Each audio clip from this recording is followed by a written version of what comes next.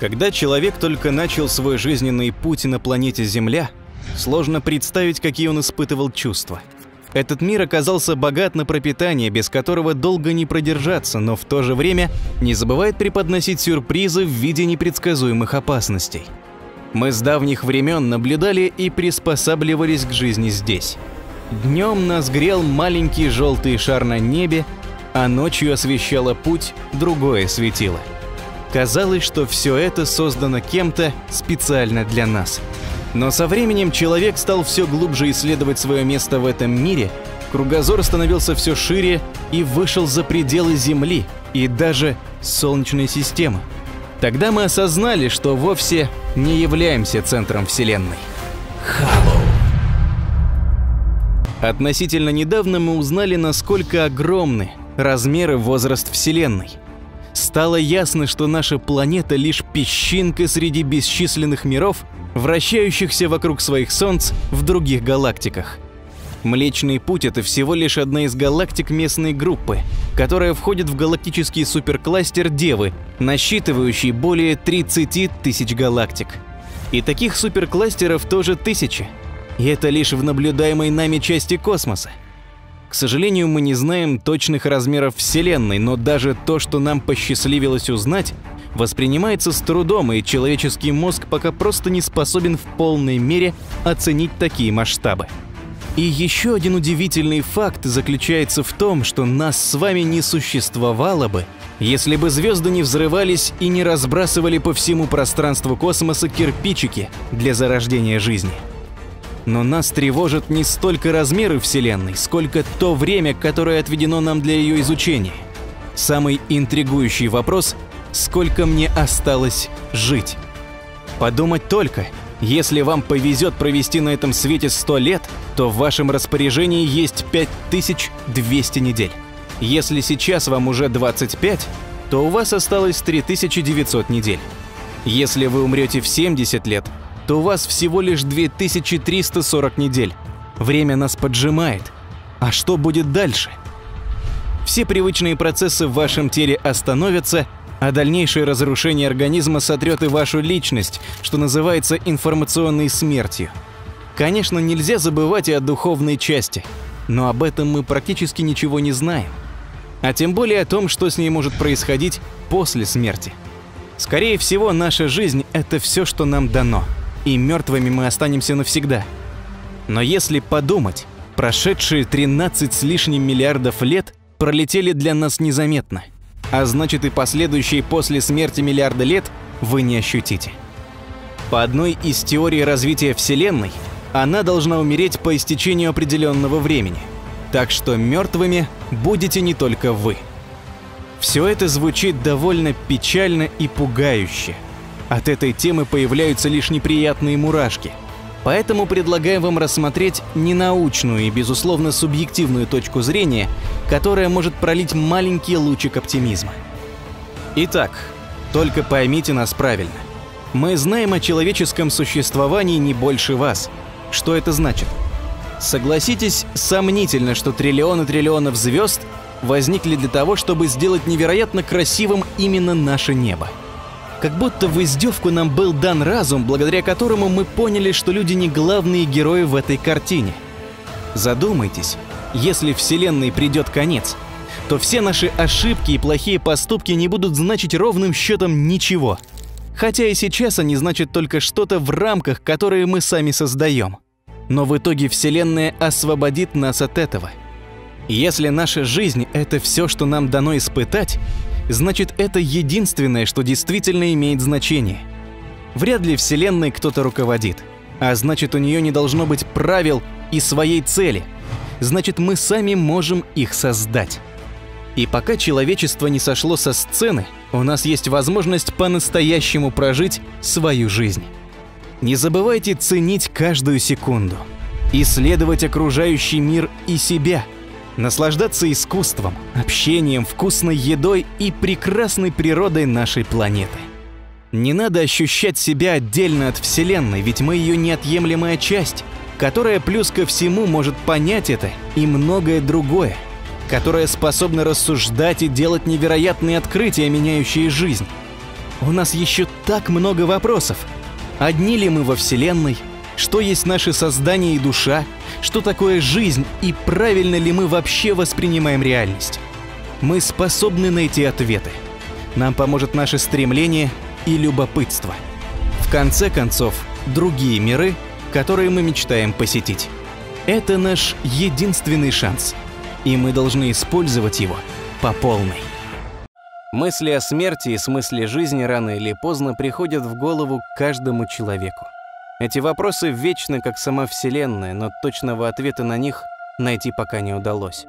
Многие еще при жизни задумываются, какая эпитафия будет выгравирована на могильном памятнике, о чем будут вспоминать родственники во время гражданской панихиды, а главное, со страхом ожидают часа X. Страх смерти, если он не перешел в тонатофобию, полезен – Подстегиваемый им, человек стремится жить более полно, продолжиться, создать семью, написать роман, снять фильм. Чувство страха придает остроту жизни, как секс на подоконнике 18 этажа. Интересно, животные страшатся смерти так же, как люди? Конечно, да. Представители рода человеческого не желают умирать по разным причинам. Из страха боли и страданий, ухода в небытие, потери контроля над ситуацией. Но животные не задаются столь глобальными вопросами. Так чего же боятся они? С одной стороны, звери, как и маленькие дети, не понимают, что такое смерть. С другой, у котов, собак, слонов и прочих представителей фауны все построено на инстинктах. Например, уход животного из дома перед смертью не стоит романтизировать, считая, что оно покидает жилище, чтобы не огорчать хозяина.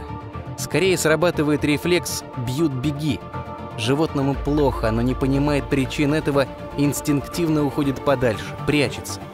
Таким же образом, на уровне инстинктов, собаки чувствуют близкую кончину человека. Более развитые органы чувств улавливают необратимые изменения в организме человека. Резюмируя, можно сказать, что инстинктивный страх смерти присутствует у всех развитых существ. Он провоцируется изменением состояния и выбросом большой дозы адреналина. Но что будет, если даровать человеку вечную жизнь, бессмертие? Не в Эдемском саду, как сулят адепты мировых религий, а на этом свете. Что если человек получит любимое материальное благо? Многие из нас задумываются и о загробной жизни. Есть ли она? Как там? Издревле люди верили в существование иного мира, в который попадают умершие. Рай, Элизиум, Гена, Огненное, Царство Аида, Валхалла – последнюю попадали души викингов, которые с честью приняли смерть на поле боя.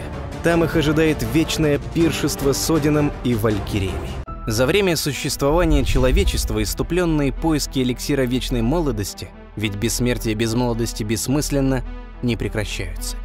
В этом вопросе наметилось значительное продвижение. Понимание значения хромосомных теломеров сделало очевидным тот факт, что если не бессмертие, то очень длительная продолжительность жизни человеку в скором времени обеспечена.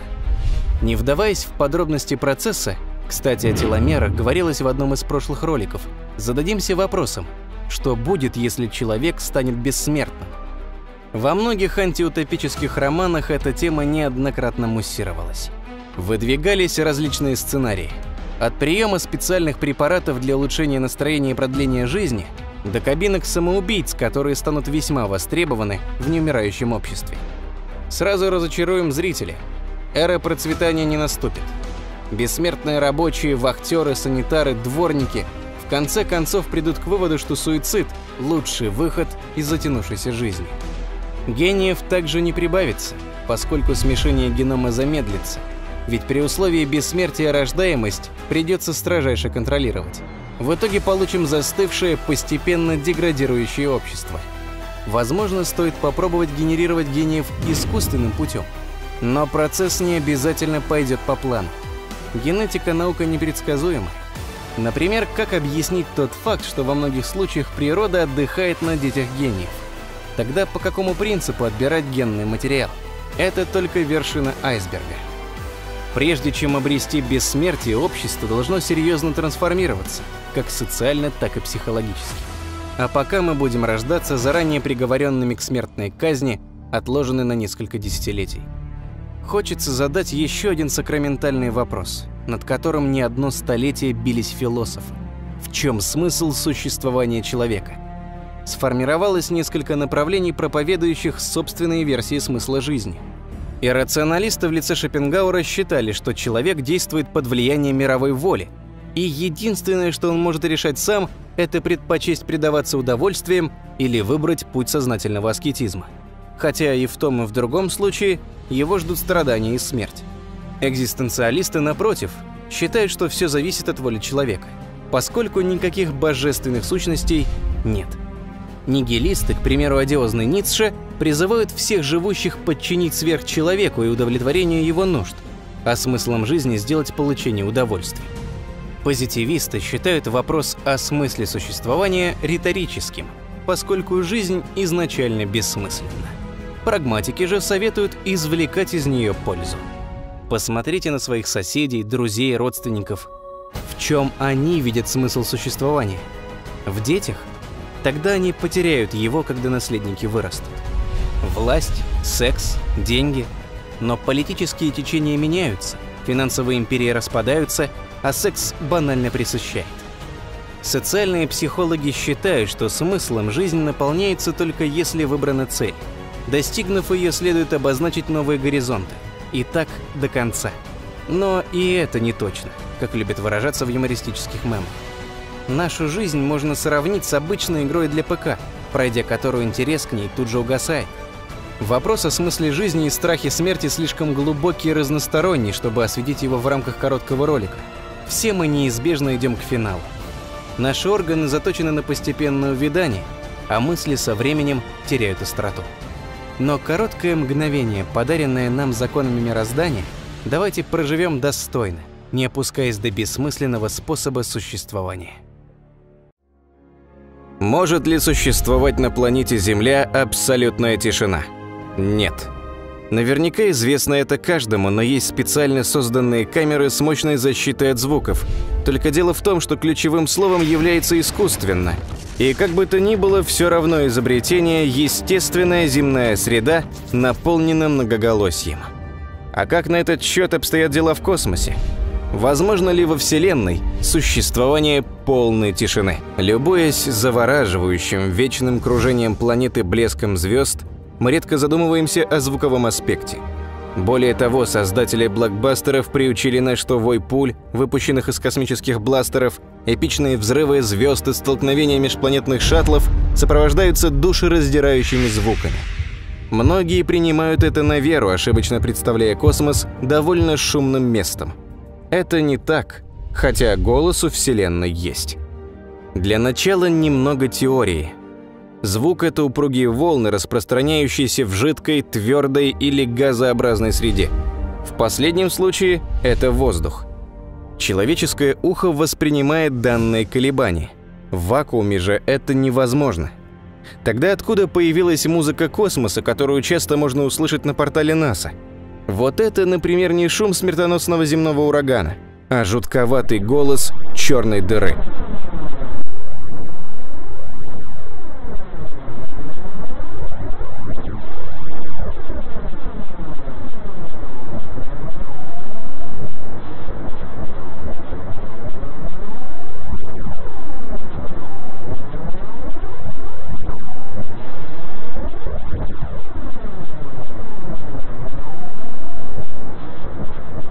Откроем простую истину.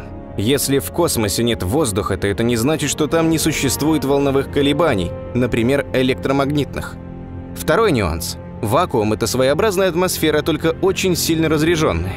Абсолютный вакуум – это миф, его не существует во Вселенной. Кажущаяся пустота заполнена частицами пыли и атомами водорода – если вакуум не пуст, то в нем должны быть звуки, но при этом там почему-то мертвая тишина, и даже взрывы громадных звезд совершенно немы. Подобный факт удивителен только в условиях Земли и для существ, имеющих органы слуха. Но это не единственный способ восприятия окружающего мира. Вспомните, ведь даже на нашей планете есть летучие мыши, способные улавливать колебания, нам неподвластные. Диапазон восприятия звука человеком от 20 Гц до 20 тысяч Гц. В этот же интервал входят сверхдлинные радиоволны. Слышать их мы не можем, но перевести такие колебания на человеческий язык в наших силах. Для этого достаточно преобразовать электромагнитные колебания в радиоволны и подать их на динамики наушников. Тогда человеку откроется разговорчивый космос.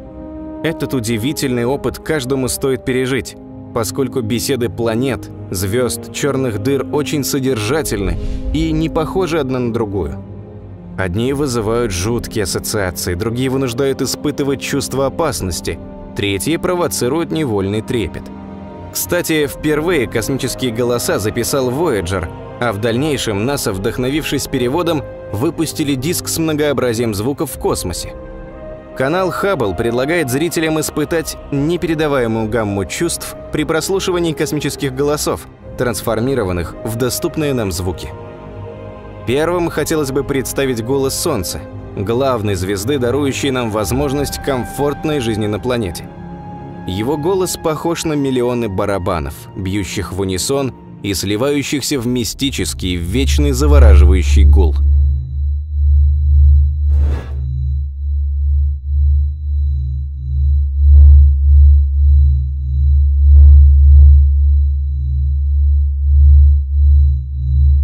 Если говорить о далеких звездах, то примечательна последняя песнь умирающего в полутора тысячах световых лет от нас красного гиганта Эр-скульптора. Поскольку такой финал спустя 5 миллиардов лет ждет и наше Солнце, то голос затухающей звезды особенно интересен для землян. Астрономы из Атакамы записали радиоизлучение Эр-скульптора и создали из него композицию по аналогии с музыкальной шкатулкой. Звук похож на капли дождя, падающие с ветки дерева в металлическую вазу, или на хаотичные ленивые прикосновения к клавишам рояля. Постепенное затухание звезды пробуждает тоску, погружая в раздумья о вечном. Голос Юпитера столь же впечатляющий, как и сама планета. Это похоже на тревожный колокольный набат. Местами звук переходит в вой и гул, словно ветер гуляет по пустым коллекторам – Иногда голос планеты похож на далекий океанский прибой. После его прослушивания приходит чувство одиночества и потерянности. А юпитерианская песня упоминалась даже в «Космической Одиссее» Артура Кларка.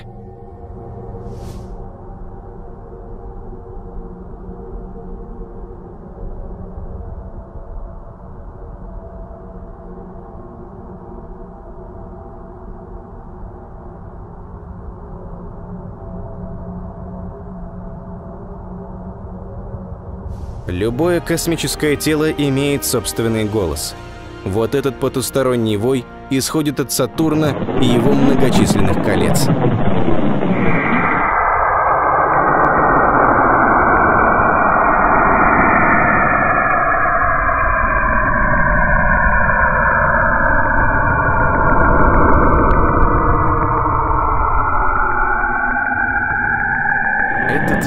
Мерный, спокойный шум, похожий на дыхание моря или звук самолета, пролетающего вдали, голос Нептуна.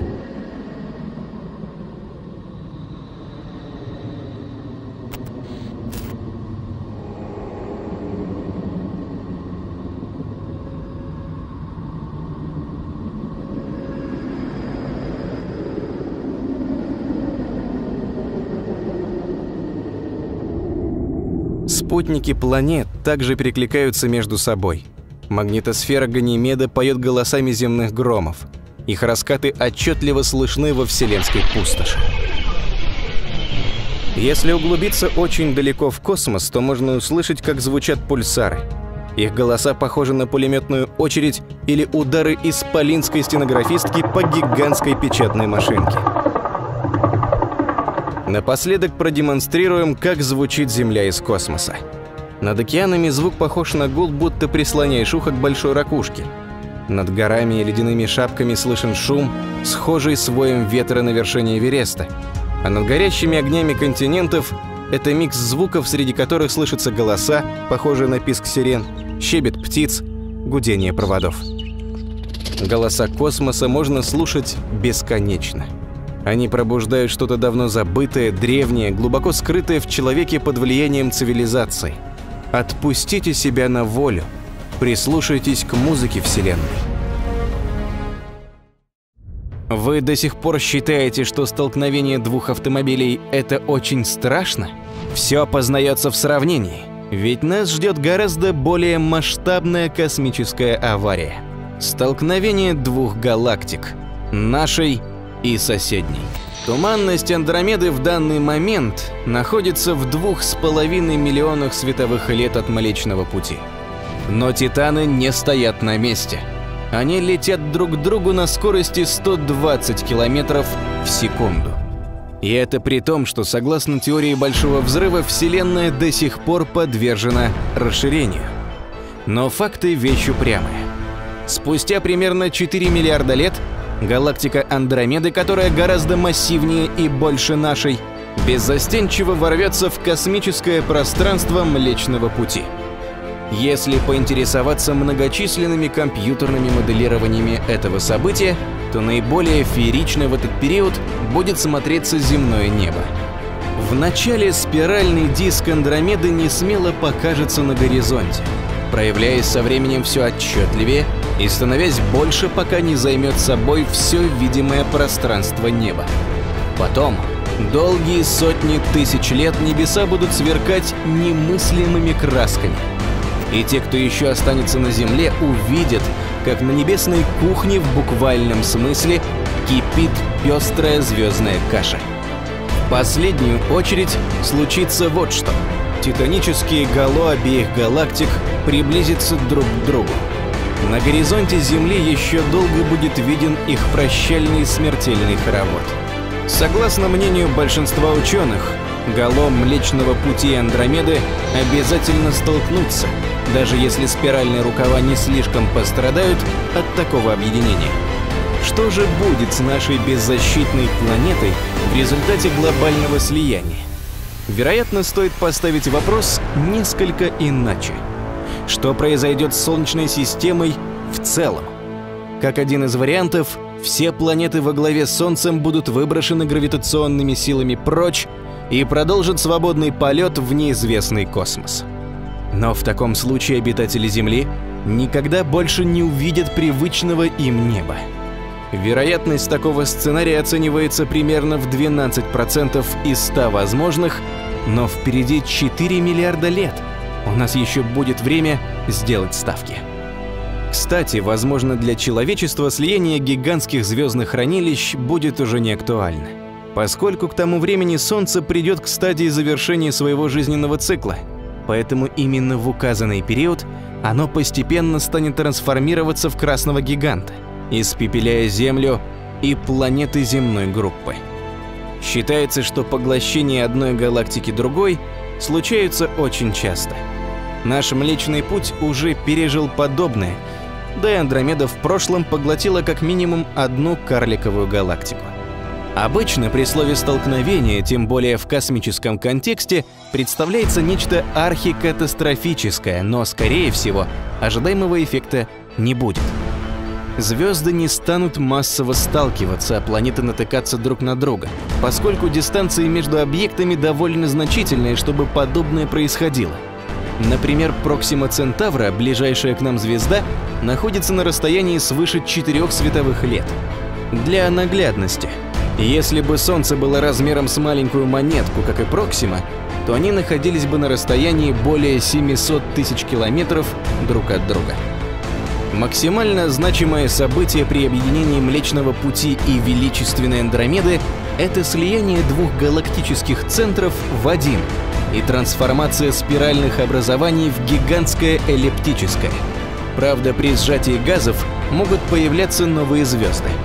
Перспектива появления громадной галактики вместо двух породила в умах некоторых ученых мысль, что необходимо заранее дать ей имя – предварительно решили назвать Титана Млекомеда.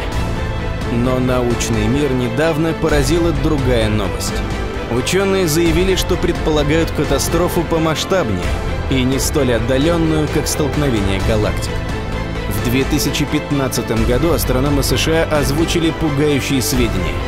Менее чем через миллион лет во Вселенной произойдет взрыв двух массивных черных дыр – это событие будет локализовано в созвездии Девы, но о его последствиях можно только догадываться. Все мы понимаем, что Земля всего лишь песчинка на гигантском пляже по имени Вселенная. Поэтому ни для кого не секрет, что над нами всегда давлеет угроза взаимодействия с иными космическими телами или последствиями взрывов. Но при этом Земля процветает, а человечество прогрессирует. Желание заглянуть в будущее преследовало человечество с момента зарождения первых цивилизаций. Кто только не пытался его предсказывать. Фанатичные жрецы, шаманы, страдающие галлюцинациями, меркантильные гадалки и, наконец, писатели-фантасты. Именно последняя категория предсказателей зачастую попадает в точку. Многое из того, что было написано в романах-антиутопиях, либо уже случилось, либо, скорее всего, произойдет в ближайшем будущем. Идеи очень разные, но все теории объединяет одно – глобальная сеть и ее несомненное влияние на дальнейшее развитие жизни людей. Понятие паутина как нельзя лучше подходит к определению интернета. Скоро на Земле не останется места, где бы она не оставила свой след. Исключением не станет даже человеческий мозг. Миграция преступности в киберпространство – Аферисты-мошенники всех мастей пойдут совершать махинации туда, где протекают громадные финансовые потоки посредством электронных платежей, покупок в виртуальных магазинах. Будущее за киберпреступностью.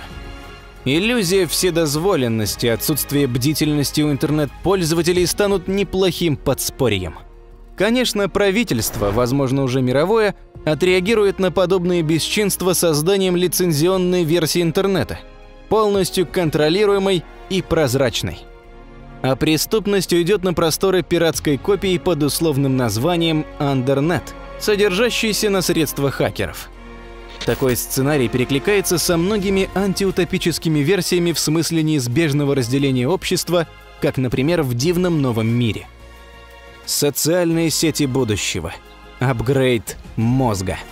Здесь футурологи отпустили фантазию, не удерживая ее. Они не просто придумывают версии, основываются на динамике прогресса соцсетей за все время их существования. Обыденные лайки очень скоро станут неактуальны. Теперь за отличный пост последует осязаемый поцелуй, а за безобразное поведение – виртуальный подзатыльник. На повестке дня эффект присутствия. Пользователь не просто увидит апельсин, а почувствует его свежий вкус и божественный запах. Если вы, проживая в поселке Великие Лопухи, захотите встретиться в кафе с другом, находящимся, скажем, в Лондоне, то искусственная реальность предоставит такую возможность, а эмоции будут неотличимы от настоящих. Границы сотрутся. Хотите пляжную вечеринку в Доминикане? Один клик или усилие воли, и вы с коктейлем в руках любуетесь на ночной океан. Желаете вместе с другом посетить Джамалунгму? Пожалуйста, никаких финансовых или временных затрат. Мгновение, и вы на вершине мира. Есть и более пикантные моменты. Например, любимая женщина уехала очень далеко. В будущем это не станет помехой для встречи. С дамой сердца даже можно провести ночь, получив все многообразие ощущений. Торжество нейробиологии не за горами, поскольку достигается подобное исключительно воздействием на нейроны мозга – отвечающие за определенные чувства. Возможно, в начале для этого понадобится симулятор, скажем, очки или шлем, но в дальнейшем ситуация поменяется радикально. Социально-политическая глобализация. В будущем через личный аккаунт, прикрепляемый за каждым землянином с рождения, можно будет голосовать. Посредством соцсетей будут устраиваться глобальные референдумы. Бумажная демократия исчезнет как вид – Усовершенствование онлайн-переводчиков приведет к полному нивелированию языкового барьера, появлению мирового Вавилона, где все будут понимать друг друга. Не обойдется и без манипуляции сознанием пользователей, поскольку торговые площадки и киты бизнеса полностью интегрируются во всемирную паутину. Поколение Z не будет читать газет, смотреть телевизор или слушать радио. Вся информация сконцентрируется в сети, поэтому воздействовать прямыми и косвенными способами на такую аудиторию – одно удовольствие. Появятся мировые СМИ, продуцирующие глобальный реалити-шоу, участником которых сможет стать каждый, как в фильме «Шоу Трумана». Сформируются сетевые мегакорпорации, гипермаркеты, интернет-университеты, виртуальное правительство. Таргетированная реклама навсегда отомрет, поскольку производитель шоколадного батончика в буквальном смысле почувствует ваш голод и тут же предложит свой товар. Возможно, этого и не произойдет или случится что-то совсем другое, но в данный момент одно неоспоримо. Эра интернета наступила и буквально одним кликом изменила будущее землян. Отрицать этот факт бесполезно. Как человечество воспользуется безграничными возможностями в дальнейшем, можно только догадываться. Мы крайне надеемся, что в реальность не воплотится антиутопический сценарий Олдеса Хаксли или Рэя Брэдбери. А как вы думаете? Наступил очередной новый день, но появились обстоятельства, которые делают этот день последним. Завтра на Земле погибнет все живое. Что ты будешь делать в такой важный и, в общем-то, единственный оставшийся день своей жизни? С Землей столкнется огромный астероид и не оставит шансов никому живому на голубой планете. Или погодите, метеорит уже упал, просто остались сутки, после которых смертельные последствия достигнут масштабов всей планеты. Да какая разница, если это последний день? Сейчас ты наверняка комфортно устроился перед просмотром нового выпуска и не ожидал услышать подобные новости. Твой дом кажется таким надежным, жизнь на родной планете спокойна и привычна, а Солнечная система напоминает стабильный часовой механизм. Тебе кажется, что так будет всегда. Но так ли это на самом деле? Наша планета и наше дневное светило, благодаря которым мы имеем счастье жить, совсем нестабильны. Изменения происходят ежесекундно. На долгое и безмятежное существование нам рассчитывать пока не приходится. Почему пока? Потому что не просто так ученые умы усердно исследуют ближайшие планеты и спутники. Все они понимают, что конец может быть близок, и надо бы иметь запасной аэродром. В эту самую секунду в ядре Солнца около 4 миллионов тонн вещества превратилось в лучистую энергию, а в следующую секунду еще 4 миллиона. Более 700 тысяч астероидов живут своей жизнью в поясе астероидов. В любой момент какие-то гравитационные возмущения могут изменить их орбиту. И вдруг они решат поближе познакомиться с Землей? Впрочем, история самой Земли тоже пестрит различными катастрофами.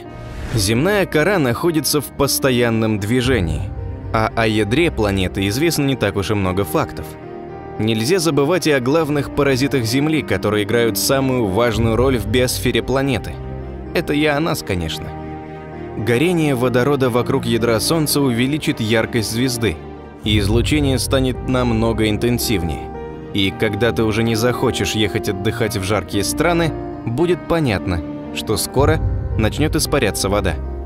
Потом Солнце превратится в красного гиганта, и Земля перестанет быть привлекательной голубой планеткой в обитаемой зоне.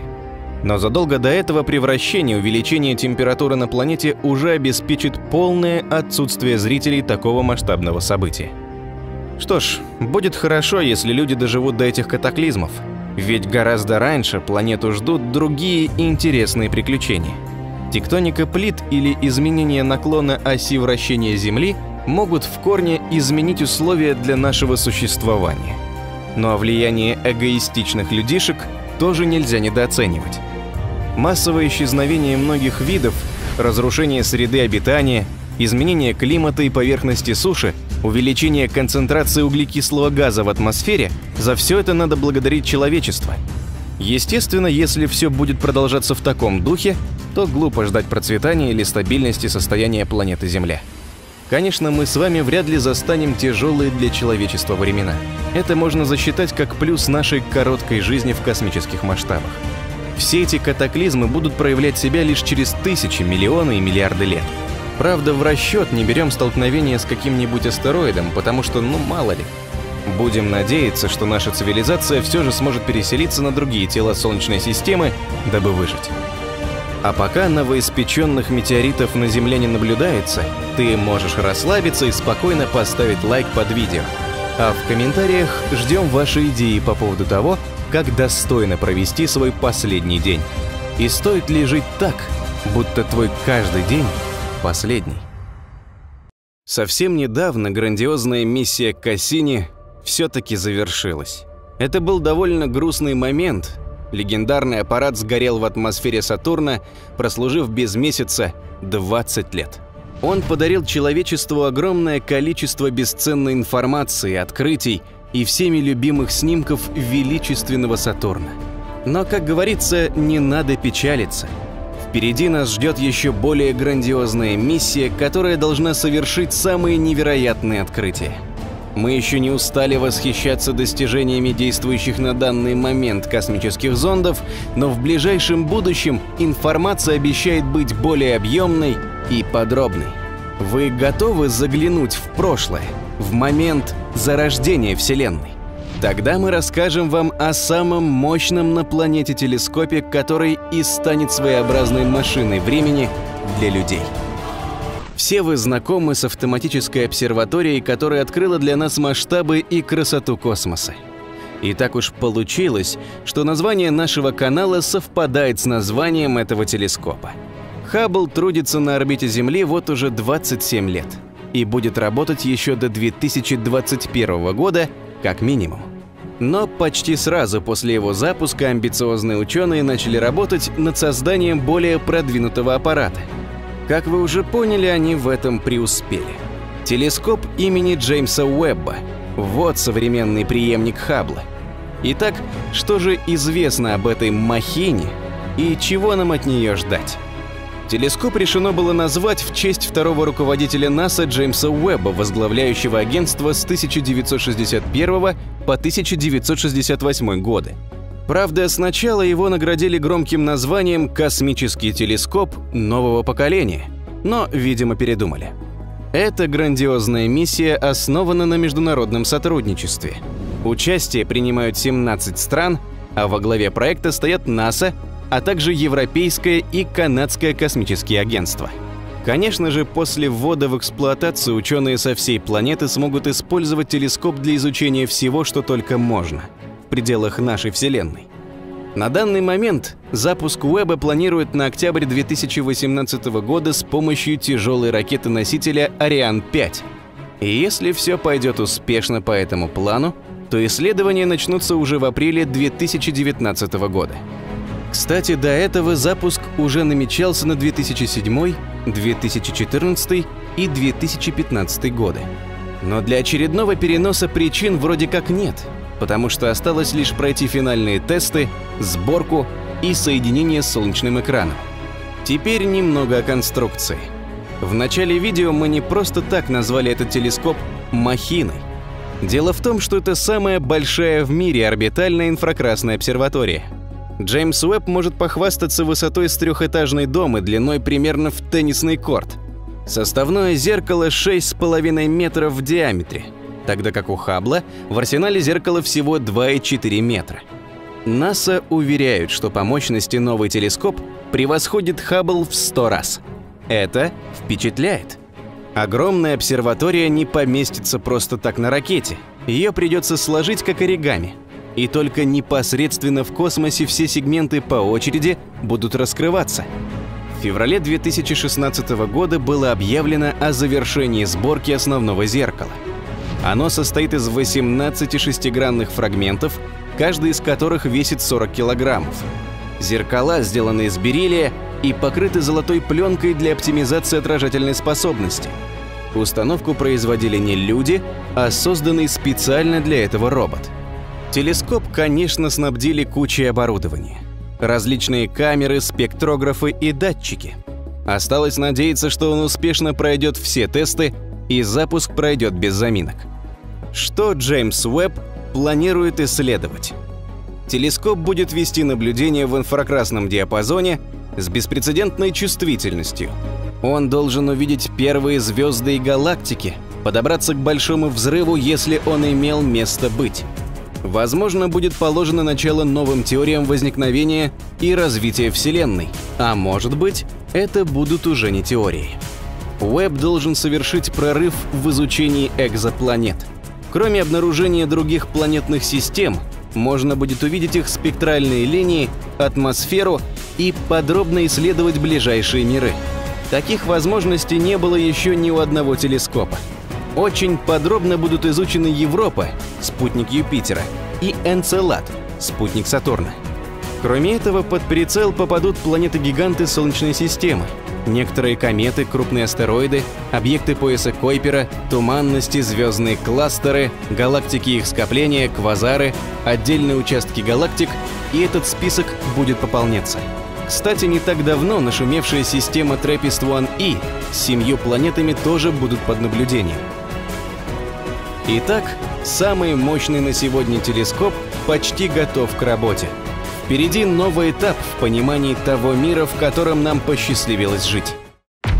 Совсем недавно известный изобретатель Илон Маск положил начало созданию новой компании, которая в недалеком будущем займется совмещением работы человеческого мозга и компьютера. Его идею поддержали еще несколько стартапов. Основную задачу, которую ставят перед собой изобретатели, является создание чипа для вживления в человеческий мозг – благодаря которому возможно будет помогать людям с различными заболеваниями нервной системы, которые в наше время не поддаются лечению. Кроме того, люди станут намного умнее, а также, что немаловажно, смогут отправляться в путешествие по виртуальным мирам с полным погружением. Но каким же боком повлияет на нашу жизнь погружение в виртуальную реальность? Многие футурологи высказываются о том, что через несколько десятилетий нас ожидает рай на Земле – Однако он не будет таким, о котором пишет Библия, а намного прекраснее. В ближайшее время все, к чему мы привыкли, видоизменится, потеряет свое первоначальное значение. Появятся новейшие технологии, которые изменят наше существование как человечество. Грядет появление виртуальной реальности с полным погружением. Но что бы это значило? И к чему может привести появление одной лишь такой технологии? Во-первых, произойдет огромное переформатирование мировой экономики. Люди не будут стремиться к финансовому обогащению. Все, чего они захотят, будет доступно в виртуальном мире. Они получат все возможные и невозможные удовольствия реального мира. Зачем покупать дорогую недвижимость, если можно жить в роскошном доме виртуально? Ходить на работу каждый день потеряет всякий смысл, так как многие профессии будут востребованы в сети интернет. В связи с этим уменьшится спрос на автомобильную и авиационную промышленность, ведь не нужно будет ездить на работу или летать в зону отдыха. Звучит бредово. В современном мире мы стараемся работать для улучшения положения в обществе. Нам нужно зарабатывать деньги для покупки разнообразных благ, а также для удовлетворения своих прихотей. Сейчас нам очень важно понравиться людям, чтобы быть как все – Однако с приходом виртуальной реальности с полным погружением большинство из нас прекратит обращать внимание на противоположный пол. И это второе по значимости, что произойдет в будущем. В виртуальной реальности все люди идеальны, красивые, неповторимые, что нельзя сказать о современном мире. Удовольствие от секса в виртуальности будет намного сильнее, поэтому вы не будете ставить себе за цель понравиться окружающим. Деньги, власть, слава – это то, к чему мы стремимся сейчас, но в виртуальном мире эти понятия потеряют всякий смысл. Люди прекратят покупать дорогую одежду или парфюмерию, что приведет к остановке производства этих товаров. Куда денется индустрия развлечений? Ведь надо будет как-то и отдыхать. А зачем? Если можно погрузиться в виртуальную реальность и оказаться в любом парке аттракционов или на каком-нибудь курорте, не выезжая из дома, просто создавая у себя в голове любую вымышленную картинку – эти же футурологи единогласно пришли к одному, что жизнь станет во много раз дешевле и интереснее, чем мы имеем сейчас. И, скорее всего, только благодаря виртуальной реальности это будет возможным. Она сыграет ключевую роль в нашем будущем. Итак, чего же нам ждать положительного, как эта реальность изменит нашу жизнь? Мы способны будем создавать в голове все, что только пожелаем. Роскошные дома, машины, нам будут доступны все блага цивилизации. Возможно, это сон, но на самом деле, осознавая это, мы творим все, что вздумается. Со временем включается режим Бога. Любые желания возможны и нам под силу. В связи с этим изменится вся система ценностей. Приход виртуальной реальности ознаменуется и значительными социальными и экономическими изменениями. Все, что нам кажется важным и существенным сейчас, в будущем будет вызывать только улыбку, а у пришедшего поколения после нас – непонимание, как можно было жить так. Для примера, современное поколение уже не знает, что такое компакт-диск или видеокассета. Для чего нужен видеомагнитофон или проигрыватель компакт-дисков. Зачем нужны все эти приспособления, если можно в сети интернет найти все, что необходимо? И самое главное, что принесет виртуальная реальность с полным погружением, это возможность обойти технологические пределы развития. Например, в виртуальной вселенной появится возможность телепортироваться силой мысли. Все, что нельзя изобрести в настоящем мире, можно будет с легкостью, не прилагая каких-либо физических или умственных усилий, создавать в цифровой реальности. Исходя из этого возникает вопрос, если обладая такими возможностями, имея вымышленную вселенную, нужно ли будет нам познавать настоящую реальность? Зачем, например, изучать космос, если можно одной лишь силой мысли создать свои планеты, галактики или осуществить невероятные приключения? Это все хорошо, но мы живем сейчас и прекрасно понимаем, что вряд ли наше поколение доживет до создания такого рая, как виртуальная реальность с полным погружением. Ваша жизнь прекрасна и размеренна. Вы живете в красивом доме посреди садов. И вдруг вы понимаете, что ночью стало слишком холодно, а днем чересчур жарко. Вам стало слишком трудно справляться с уборкой, так много вокруг пыли. Ваш уютный и светлый дом атакует полчища насекомых. И однажды утром, проснувшись, станет ясно, что леса на грани исчезновения. Это все неправда. И дело не в том, что это звучит словно сценарий постапокалиптического фильма. Ведь в реальной жизни такой исход событий невозможен. Или возможен. Человечеству повезло, и так резко деревья не исчезнут. Но процесс уже запущен. Так что же произойдет, когда он завершится? Потоп и засуха. Да-да, вы не ошиблись. В результате того, что лесной массив исчезнет, снег, который выпадает, будет таять неправильно, вызывая природные катаклизмы. Роль деревьев в таянии снега огромная. Во время зимних буранов лес препятствует выдуванию снежного покрова, тем самым храня запас жидкости. Весной деревья затеняют снег, и он тает не так быстро. Что это значит? Лес выступает природным регулировщиком уровня влаги в почве, контролирует сток жидкости в реке. Помните картинки из «Безумного Макса»? Когда Земля не может больше ничего родить, кроме страшного ветра и густой вуали песчаных бурь. Именно это ждет человечество в случае исчезновения деревьев.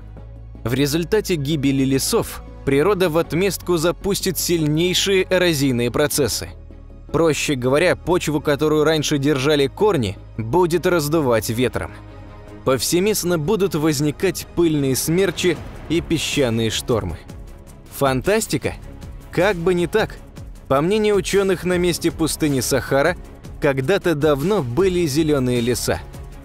История, кстати, помнит о пыльных бурях на юге Украины в 1892 году, когда под пахоту были вырублены гектары леса. 70%. Столько живых организмов обитает именно в лесах. Из них именно в тропических лесах обитает 90% наших ближайших родственников – приматов. Хотите еще цифр?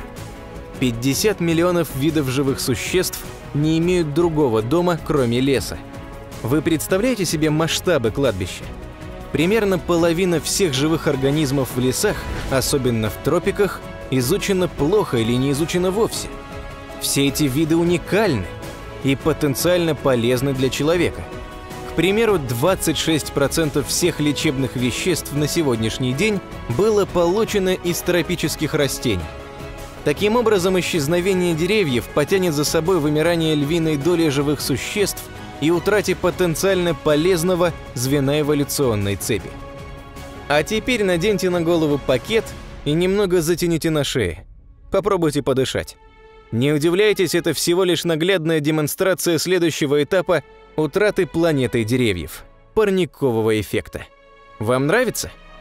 Массив леса – извечный аккумулятор, который удерживает в биосфере химические элементы и воду, взаимодействующий с тропосферой создающего баланс углерода и кислорода.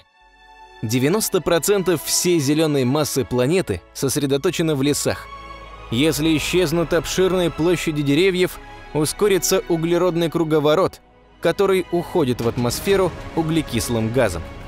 Так возникает парниковый эффект. Нью-Йорк. Середина 90-х. Повальная вырубка лесов, интенсивное ведение сельского хозяйства приводит к резкому ухудшению качества питьевой воды. Тогда власти города были поставлены перед выбором. Строить мощные очистные сооружения за 5 миллиардов долларов или повысить защитную функцию лесов и других экосистем водоохранной зоны. Экономные американцы выбрали второй вариант. Для этой цели выкупалась земля вдоль рек. Владельцам фермы лесов выплачивались значительные дотации за ответственное ведение хозяйства в водоохранной зоне. Это стало удачным и экономным решением для Нью-Йорка. Лес – природный фильтр. Деревья обладают способностью преобразовывать химические атмосферные загрязнения, особенно газообразные. Самой большой способностью окислять обладают хвойные леса. Лес как губка впитывает компоненты промышленных загрязнений. Если не станет деревьев, через несколько лет воздух будет непригоден для дыхания, а качество воды ухудшится еще быстрее. Возможен ли такой исход событий? На ум сразу приходят постапокалиптические картинки. Люди в противогазах, борьба за воду, кислородные баллоны за спиной. Без деревьев наша планета была бы совершенно иной. Никаких людей, кругосветных путешествий, динозавров. Никакой привычной нам жизни. Ибо деревья – это и есть жизнь, которую мы с легкостью можем потерять. Что общего между раком и бессмертием? Казалось бы, это диаметрально противоположные понятия.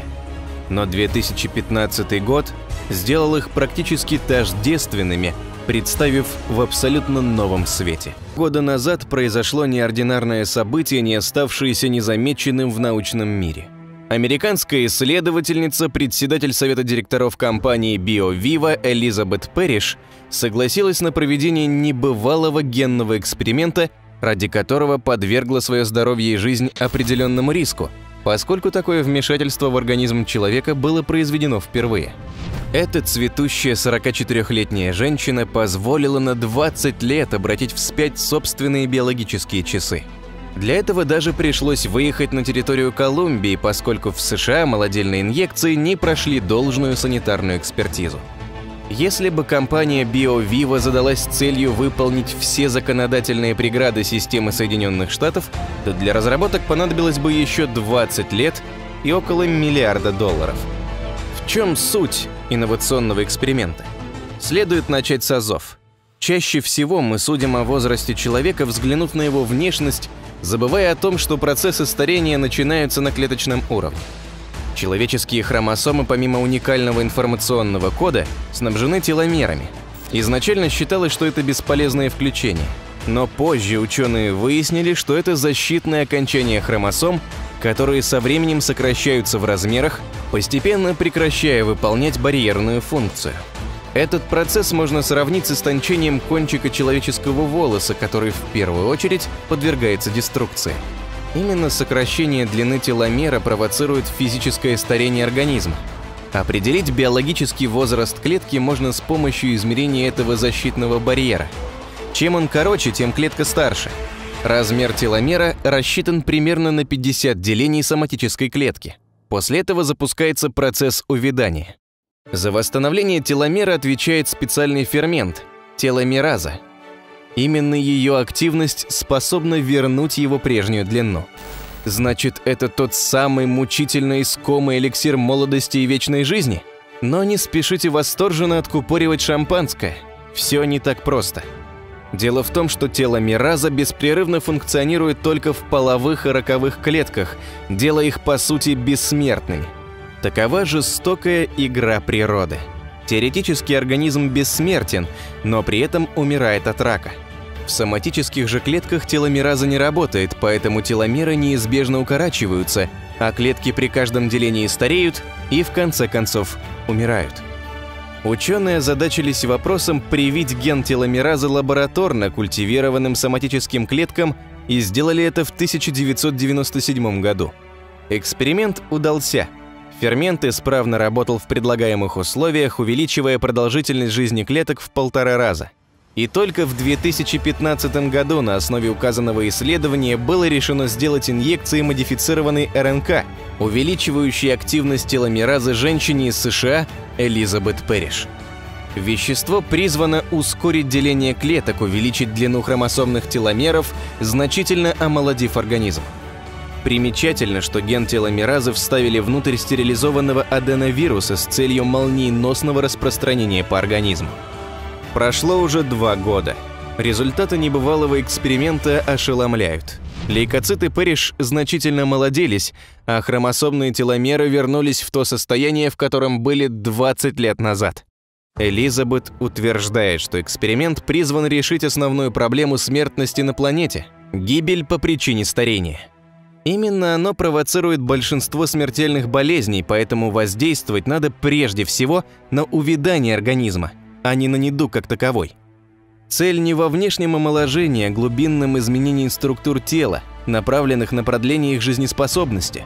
Если удастся запустить процесс в полной мере – то пожилое население планеты будет не менее активно, нежели молодежь. Уделом стариков перестанут быть дома престарелых и инвалидные кресла. О побочных эффектах прививки от старости доподлинно неизвестно. Предположительно, в результате инъекции может увеличиваться риск раковых перерождений, но это не доказано. В интервью Элизабет часто описывает свои новые ощущения. По утрам она непривычно бодра, но по вечерам чувствует себя словно трехлетний ребенок. Женщину преследует единственное желание – пораньше лечь спать. Ее сон здоровый, практически без сновидений. Еще Пэриш ощущает мышечную боль, которую приписывает активному обновлению тканей. Но мировую общественность интересует логичный вопрос. Когда убийца старости пойдет в массы? Ученые концерна BioViva считают, что при условии привлечения инвесторов уже через 5 лет подобная терапия будет стоить около 60 тысяч долларов, а через 15 лет можно сделать anti-age прививки бесплатными. Это сэкономит громадные деньги, ведь только США ежегодно тратят триллионы долларов на лечение болезней Паркинсона, Альцгеймера, онкологических патологий. Не говоря об уходе государственных структур за престарелыми гражданами, становящимися на закате жизни невольным балластом для общества. Разве на этом фоне полтора миллиона потраченных на генную терапию не кажутся каплей в море? Если все пойдет по плану и мир глобально омолодится, значит пластические хирурги останутся без работы? Элизабет считает, что нет, поскольку прожив 130 лет, возможно, человеку надоест его внешний вид, и ему захочется в себе что-то поменять. Конечно, история несколько смахивает на жизнеописание Бенджамина Баттона, но впервые земная наука дает нам реальный шанс на бессмертие. Так что до встречи в будущем! Все любят путешествовать в другие города, страны и на другие планеты. Да, последний пункт на сегодня тоже имеет право быть. Марс One на шаг ближе к реальности, и поэтому ученые говорят, что мы без труда сможем колонизировать эту планетку. Чтобы проект Марс One выгорел, мы должны добывать воду из марсианской почвы для питья, азот и кислород из воздуха для создания атмосферы. Все эти технологии, говорит Лэнсдорп, уже существуют. Но существует ли? 22 апреля 2013 года неправительственная организация Mars One открыла прием заявок на участие в колонизации Красной планеты, предусматривающий межпланетный перелет, как бы это героически или отчаянно не звучало, в один конец, включающий строительство долговременной марсианской обитаемой станции.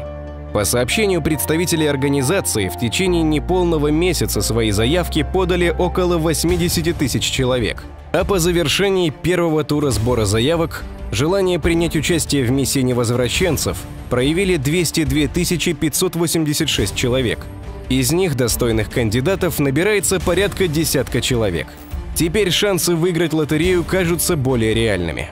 В конце 2015 года Mars One начал отбор будущих астронавтов, которые проходят курсы обучения необходимым навыкам, а также тесты на длительное пребывание в закрытых пространствах, в симуляторах межпланетного корабля и колонии.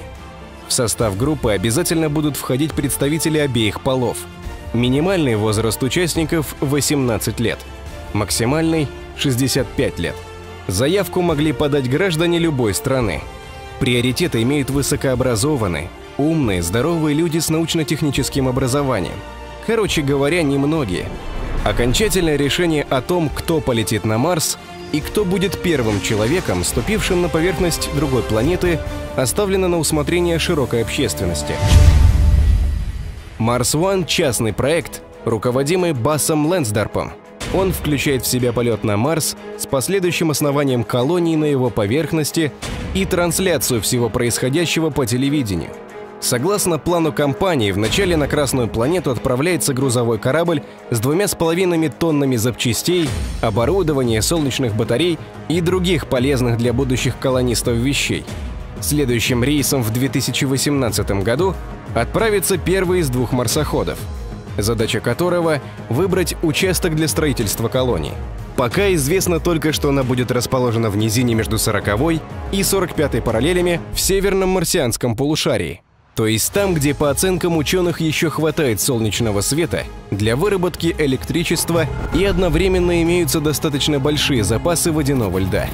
В 2021 году на Марс должны прибыть шесть кораблей, два из которых станут жилыми блоками, два — элементами системы жизнеобеспечения, еще один привезет партию грузов, а последний доставит второй марсоход.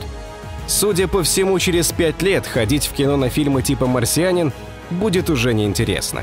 Марс One намерена к 2023 году высадить на Красной планете четырех человек, которые станут основой постоянной колонии — После этого новые группы поселенцев будут прибывать на Марс каждые два года по мере открытия благоприятных баллистических окон для старта с Земли. По предварительным оценкам сотрудников компании, отправка первых четырех переселенцев на соседнюю планету обойдется в 6 миллиардов долларов. Базирующаяся в Нидерландах организация планирует покрыть большую часть расходов, организовав глобальное реалити-шоу, в ходе которого все стадии миссии начиная с отбора астронавтов и заканчивая первыми годами жизни на Марсе, будут происходить под непрерывным наблюдением видеокамер. А еще говорят, что зомбоящика пользы нет. Самое время проверить гостеприимство соседа Марса и, возможно, познакомиться с зелеными человечками или армией чужих. Про зеленых человечков я пошутил. Поэтому ставьте большущий электронный лайк и обязательно подписывайтесь на наш канал и паблик. Впереди еще много интересного и неизведанного.